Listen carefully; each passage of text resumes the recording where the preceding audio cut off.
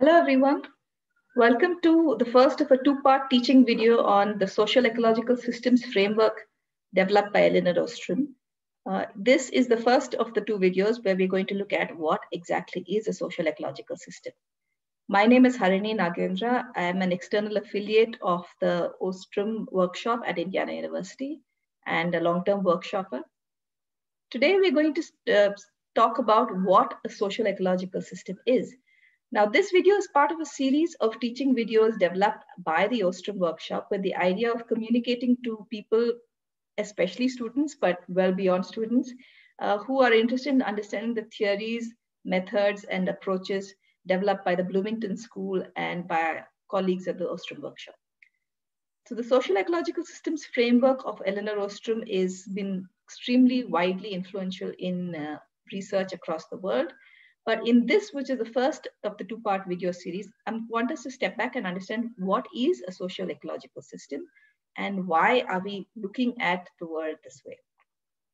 Of course, the idea of social ecological systems or coupled human and natural systems, as they're also known, is a very influential idea that's been around for a long time. And it was uh, developed by uh, number of people at the Resilience School and the Resilience Alliance, including um, uh, Carl Folke and Fikret Berkes and Johan Colding, and a number of others. And this was the idea that human beings are embedded in local systems and there are close interactions between the human part of the system, uh, the, that is the social part of the system, and the ecological part of the system. So humans shape the ecology around them, both by uh, withdrawing different kinds of resources from them and by the management practices they have. And in turn, ecology shapes the, the mindsets, the, the spiritual associations, the ways we think, the way we behave, our well-being. And so ecology in turn shapes and influences social systems, right? And I'd like to show you why that is with a few examples from different places around the world. And let's start with indigenous communities in any forest, for instance, the Amazon forest it's very hard to think of an indigenous community and separate it from its forests or its ecosystems in which they live. They are so intimately part of the forest. They have their sacred gods there. They have sacred traditions of worship. They know intimately all the species in the forest, use them in many ways. Their livelihoods depend on the forest. And this you can see, for instance, in uh, almost any anthropological work on long-standing indigenous tribes, wherever they look at them in any part of the world, you will not find a dissertation that does not talk about or ignores their ethnobotanical knowledge, for instance.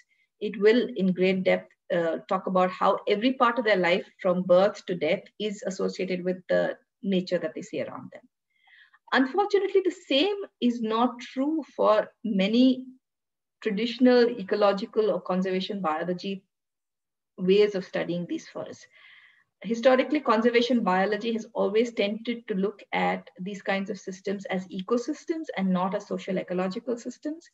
And this has been sad because it has led to a dominant conservation approach that says that indigenous people or uh, indeed, indeed all kinds of people are harmful to the forest and you need to relocate them outside forest in order to protect these places. And therefore, you find many protected areas have a simplistic view of conservation, which says for conservation, you need to relocate these communities. And that leads to a number of different fallouts. For instance, in the Amazon, there has been a lot of research that shows that when you look at indigenous reserves, re protected forest patches that are protected by indigenous communities, these are far more robust under conditions of all kinds of stresses from climate change to drug smuggling, wars, and to ethnic conflict. Right? And similar research in Nepal also shows that when you have indigenous communities that were protecting their forests, they were far more resilient to Maoist conflict in uh, the troubled times of Nepal.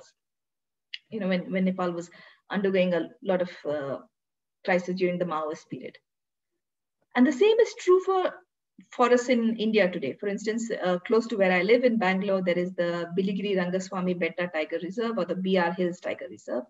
This has the Soliga tribes that are deep in the forest that have been there for generations.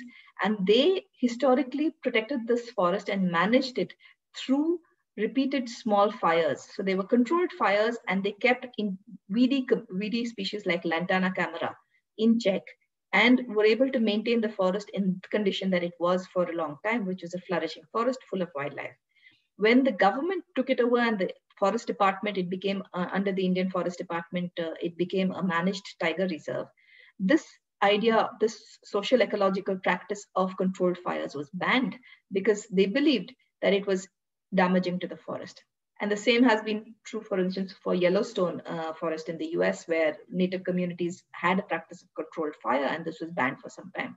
And we know what happens when you ban these kinds of controlled fires. What you have is a lot of uh, woody, inflammable biomass builds up. And then at one shot, suddenly, sometime you have a spark that happens and you have a fire that goes out of control and the entire forest goes down.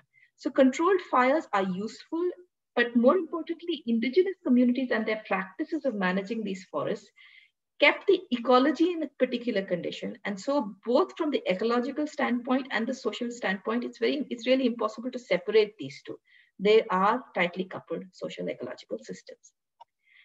Now you might be looking at this and thinking, okay, this is true of indigenous communities, but this is not true of all types of habitats in the, in the world. And I'd like you to take, take you to a completely different kind of a, a habitat, a city. And a city is also a social ecological system. And this understanding of cities as social ecological systems is true of New York. For instance, here's a study of uh, New York done by the US Parks and Rec Service. And they look at the number of protected areas uh, around New York City and within New York City. And these are some of the most intensely visited parks across the US because people who live in cities not just desire nature, but they also almost need nature because they need to go and spend some time in parks for mental health, for physical well-being, and just to, to just re refresh themselves. Right? And so this research was very interesting because if you manage parks purely ecologically, it doesn't work because when you have human beings coming into these parks, and these are very intensively visited areas, their trails bring in invasive species. And so parks management decide, has to manage these invasive species by taking them out. But what this research finds is that there's certain kinds of visitors, in fact, those who are not ecologically trained or knowledgeable, who actually like these invasive species because they're green canopy species and they make the park look more natural from their perspective. So parks, when managers manage them, they respond to human needs of these parks. And so parks in cities can also shift as social ecological systems to a different kind of ecology. And this you know, is not just true of a city like New York. Coming across the world to a very different place, Bangalore's lakes. Bangalore has a number of rainwater harvesting structures called tanks or lakes. And these used to be one kind of social ecological system where there were cows grazing, migrant workers, people who washed their clothes were integral parts. The city now considers them ecological systems only, and they've dropped the idea of a social ecological system. They have become places for water recharge, for recreation, for nature watching. This is as an aside, Elinor Ostrom was here planting a jackfruit tree at one of these lakes in 2012, shortly before she passed away. But going back to this picture of parks, of these lakes with uh, grasses and cows, any Indian city, and Bangalore certainly no exception, will have sewage flowing into the lakes. It's impossible to manage them however well your you know, underground sewage networks are. And this is in fact true of any global south city. Cows are very essential in social ecological systems of this kind because when you have sewage entering, along with the sewage comes nitrogen and phosphorus, that encourages plant growth. And when you have too many plants that cover the surface of this lake, then they suck out all the oxygen in the lake and you, that leads to wide scale fish death and not just fish death, everything in the lake dies, everything living in the lake dies. You have complete, in short, ecological collapse. And you do see these in water bodies across India. And part of the solution, certainly not the whole solution, but a big part of it is to allow these lakes to thrive as the kind of social ecological systems they used to be, which is with the lakes and the fishers and the women who harvest these greens that grow on the side of the lakes, because this sucks out the biomass. It is used in livelihoods, it's used in nutrition, it provides the city with organic milk, and it helps to keep the lakes pure. Right? So not understanding that these lakes are social ecological systems leads to mismanagement in a certain way, which is actually harmful both to the ecology and the sociological system. This is true for indigenous areas in the Amazon. This is true for parks and rec in New York City, and this is true for lakes in Bangalore. So I hope I've shown you through these different examples why it's very important for us to understand any part of the world where humans live as social ecological systems. Social ecological systems can be at this scale, it could be at the broad universal scale and at all scales in between.